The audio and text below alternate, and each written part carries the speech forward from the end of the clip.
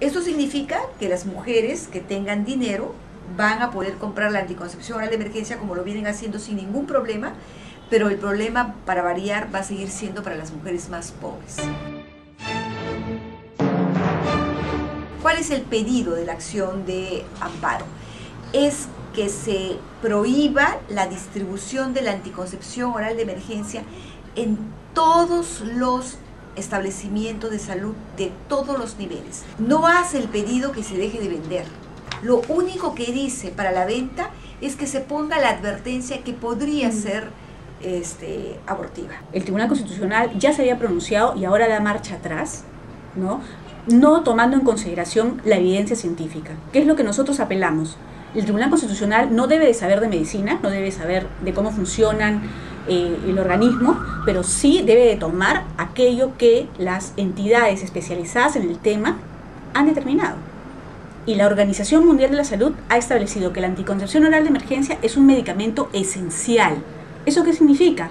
Que es básico, que debería estar en todos los servicios de salud de todos los países del mundo, al alcance de todas las mujeres sin ningún tipo de discriminación. Se sabe que no afecta en absoluto con la implantación del huevo fecundado. Esa es la evidencia más sólida que se ha podido desarrollar. Lo dice la Organización Mundial de la Salud, lo dicen las investigaciones científicas. Y a pesar de todas esas evidencias, el tribunal dice, como nosotros dudamos que eso sea así, entonces nosotros actuamos a resguardo.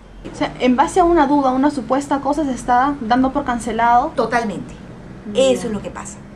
Y en realidad aquí no pierden las organizaciones. Acá no pierden los laboratorios. Mm. No para nada. Acá las únicas que pierden son las mujeres pobres del país. Nadie más. ¿Qué implicancias tiene el que ya no se reparta más esta píldora para las mujeres más pobres? Bueno, recientemente Alan Goodmacher, que es una organización internacional muy importante, con sede en Estados Unidos, ha demostrado con evidencia científica que la anticoncepción es vital y ha tenido un efecto y un impacto positivo en la reducción de embarazos no deseados. Eso está, recientemente ha emitido un informe la semana pasada, con evidencia científica, que la única forma de reducir embarazos no deseados y con ello el aborto es ampliando el acceso a la anticoncepción y dentro de ello la anticoncepción de emergencia. En este país solo el 50% de mujeres accede a métodos anticonceptivos, solo el 50% de mujeres. Por lo tanto, todas, el otro 50% de mujeres están en riesgo de un embarazo no deseado, en riesgo de un aborto clandestino, en riesgo de morir, en riesgo de quedar con secuelas para su vida.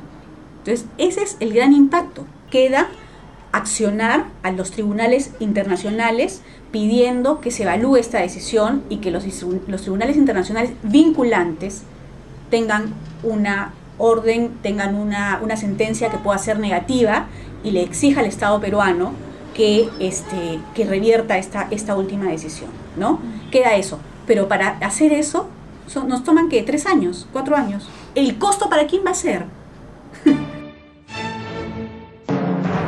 Está dirigido por algunos grupos conservadores muy ligados a la Iglesia Católica. Entre ellos, los más importantes son uno, el Opus Dei, que obtiene financiación directa de Vaticano.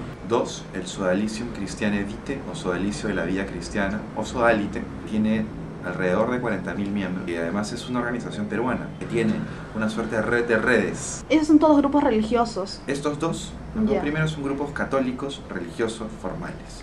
Los otros tres, de los que te hablo muy rápidamente, son activistas algo así como ONGs, pero antiderechos. Uno es lo que, es, el que se conoce como Population Research Institute, o el PRI, que tiene su sede para América Latina en el Perú. Eh, y lo interesante de este grupo es que recibe financiación directa del PRI, eh, Estados Unidos. Se dedica a hacer sustancialmente campañas de lobby en temas ligados a derechos sexuales y reproductivos, en contra de derechos sexuales y reproductivos. Otro grupo importante es ALAFA, que es la Alianza Latinoamericana para la Familia, que se dedica a elaborar material educativo antiderechos, el cuidado del cuerpo, no a la educación sexual, no a los anticonceptivos, etc. Un tercer grupo importante es lo que conocemos como CEPROFARENA, que es el Centro de Promoción para la Reproducción Natural de la Familia. Para que sea más o menos claro quiénes son. El ex ministro Carbone, ministro de Salud Carbone, fue presidente de CEPROFARENA. Y existen muchos otros. En el Perú, aunque algunos no lo sepan, existen eh, caballeros de Malta, caballeros de Colón. Y el problema no es que sean un grupo de locos, porque no lo son. Son personas muy inteligentes y muy serias. El problema está en que al serlo justamente interfieren en la política pública. Con estas dos cosas, con la despenalización del aborto, con la marcha que hubo y con ahora la negativa de que se reparta eh, la píldora del día siguiente, ¿cómo se debe a la sociedad peruana? Querámoslo o no, probablemente somos una de las sociedades más conservadoras del continente. ¿Qué diría la gente el domingo en la misa si saben de ti?